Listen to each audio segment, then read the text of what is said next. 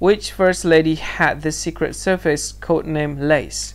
Which First Lady had the Secret Service code name Lace? Now I'll give you four options and you try to guess which one from these four options that you think is the correct answer for the question and here is the list of the option.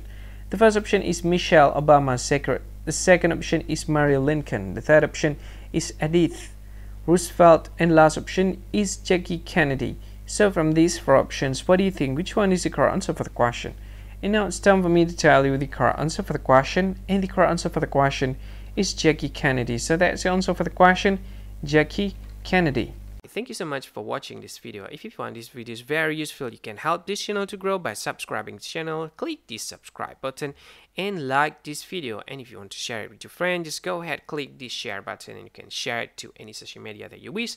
And if you want to comment in this video, just go ahead, find comment section and comment. Say whatever you want in it. I think that's all of it. Thank you so much for watching this video and see you again in another video. Bye bye.